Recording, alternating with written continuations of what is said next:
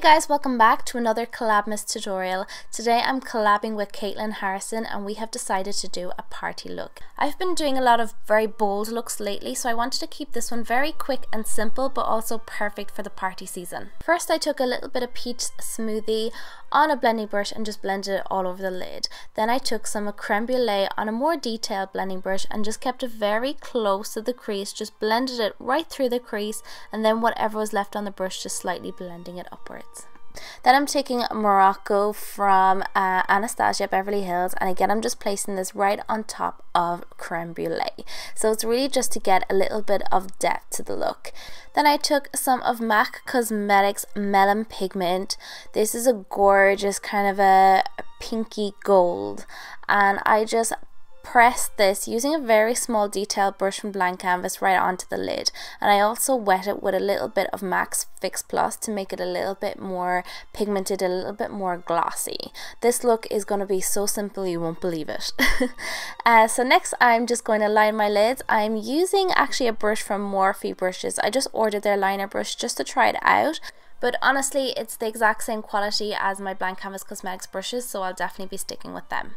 Uh, so I just applied the Morphe brushes gel liner and I just created a very thin line keeping it very close to the lash line because this is going to be a very simple quick and easy look. And then just applied a little bit of mascara. Now you can leave the liner out if you wish or you could uh, leave the false lashes off if you wish. It's totally up to yourself. It depends how much time you have. So I just applied the red cherry 106 lashes. I did it guys. I ordered ordered a new bunch of lashes and they're all different types so I'm excited to try them out. So these are the 106s and I like them because they're they're quite similar to the 43s but they're a little bit more fluttery and a little bit darker as well uh, so uh, moving on to the face, I'm just using 17 Cosmetics Tan Glow. I love this stuff during the summer and I'm not a big fake tan wearer, but I am wearing fake tan today, which is why my neck is brown and my face is white. Uh, so I just used that to bronze up my face a little bit and then I applied my J Manual foundation in light 3. Now as you can see my face is still lighter than my neck so I went in with a little bit of Jump Rope Play Stick from Benefit and I just blended this over the foundation just to deepen the colour but as you can see I'm just focusing kind of around the centre of the face so you're not getting that orange caked line in your hairline which I absolutely despise. For concealer, I'm using the Urban Decay Naked Skin and as you can see, I'm just applying this to the areas that I want to bring forward, that I want to highlight. I do have a full tutorial on how I highlight and contour with creams, which I'll leave linked on the top right hand corner. But I'm just using this today and just blending it out with the sponge um, and then I'm going to go into my powder. I'm going to be using the Blank Canvas Cosmetics Contour Palette today and I'm going to be using a new technique called baking. I'm sure you guys have heard of it before but this is the first time I've done it in a tutorial. So I'm just taking a very small detail brush and just, this one is actually from the Robert Jones collection. I've had it years but I just had it handy there. Um, all my brushes are dirty at the moment. Uh, so I'm just packing on the lightest powder from the palette um, to the areas that I want to highlight and also just under my contour. This will just, you know, stop you from going too far down with your contour as well and also help it look more on point. Uh, so now I'm just applying my contour. I'm using the F15 brush from Blank Canvas and I'm using the NARS Laguna bronzer. This bronzer is normally a bit too dark for me. It's the bronzer that Kim Kardashian uses. So as you can imagine, she's a lot darker than me.